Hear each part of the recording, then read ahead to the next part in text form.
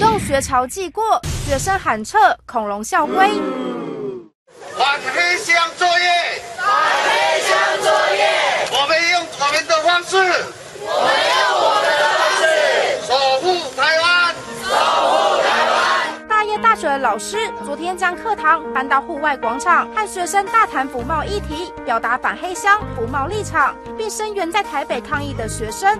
全国大专院校响应反黑箱服贸，学生自主罢课行动连署持续延烧。截至昨晚为止，已有八十多个学生团体，超过三千六百位学生联署响应。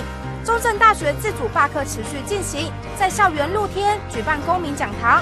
不过，苹果发现参与学生人数趋缓，但来来去去人流不断。